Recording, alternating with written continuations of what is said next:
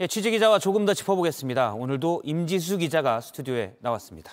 임 기자, 지금까지 보도한 돈봉투 의혹과 관련해 많은 분들이 궁금했던 게 그 봉투 안에 돈은 그러면 어디서 나온 거냐 이런 거였는데 오늘 그 단서가 조금 나왔습니다.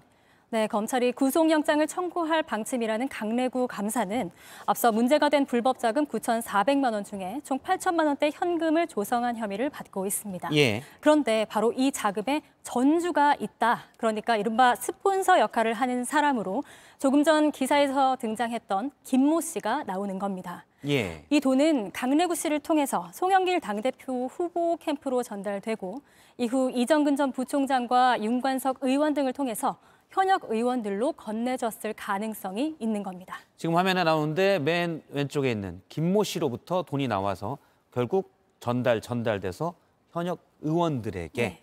여러 봉투로 나뉘어서 전달이 되는 거군요. 네, 그랬을 가능성이 있어 보입니다. 일단 스폰서라고 하면 스폰서를 하고 대가를 바라지 않습니까? 오늘 그 정황도 일부 나온 거죠. 네, 리포트에서 보신 것처럼 스폰서 김 씨는 어, 자신의 자녀를 대선 후보 캠프에서 일하도록 도운 것으로 보입니다. 물론 보수를 받지 않은 봉사활동 차원이었다고 해명을 하는데 당시 유력했던 대선 후보 캠프에서 일할 수 있는 경력을 쌓을 수 있는 기회를 얻은 건데요. 녹취 파일에서는 앞서 기사에서 소개되지 않았던 또 다른 강모 씨가 스폰서로 언급이 되기도 합니다. 이에 대해서 강 씨에 대해서 윤관석 의원과 이정근 전 부총장이 나눈 대화가 있는데 잠시 들어보겠습니다. 그렇게 신경 안 쓰시면 돼요. 아니 그러지. 그 다음에 그거 하나 나중에 저기 하나 주면 돼.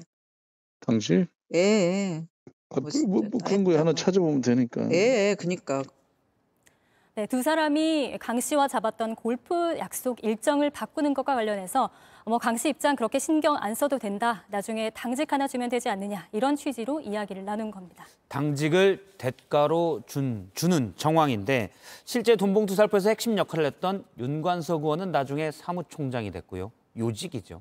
어, 이정근 사무부총장, 말 그대로 사무부총장을 했었잖아요. 네, 그렇습니다. 특히 이정근 전 부총장처럼 현역 의원이 아니라 당직을 하다가 곧바로 사무부총장이 된 것이 굉장히 이례적이다라는 평가를 받는데요. 특히 저희가 확보한 녹취 파일들에서는 송영길 전 대표가 이정근 전 부총장을 상당히 신뢰하고 또 의지했다는 것을 보여주는 대목이 곳곳에 드러납니다. 그중 일부를 들어보시죠. 요 셋이 팀워크를 좀잘 맞춰서 그거는 내가 잘 맞출게. 어, 밤에 전화 가지고 나한테 욕을 욕은 욕이란 다 퍼부어가지고 내가 그냥 아, 잠을 잠을 설쳤네 잠을 진짜 음. 와서 이 충성 부대를 만들어서 백업하는 그 군단을 내가 하여튼 오늘부터 만들게. 하여튼 뭐든 다 의논하고. 네 알았어요. 응. 네, 들으신 것처럼 두 사람은 당내에서 벌어지는 일들에 대해서 아주 사사건건 상의했던 관계로 보이는데요. 앞서 송영길 전 대표는 이정근 저 부총, 전 부총장의 형편없는 진술을 근거로 한 정치 수사가 벌어지고 있다 이런 비판을 했지 않습니까? 예. 앞으로 예정돼 있는 22일 기자회견에서 이런 내용들에 대해서는 어떻게 답할지 주목됩니다. 예, 충성 부대라는 말들 말까지 나왔는데 사실 당 대표의 최측근이면 그것도 권력이 되는 거죠. 그렇습니다. 네, 임지수 기자였습니다. 수고했습니다.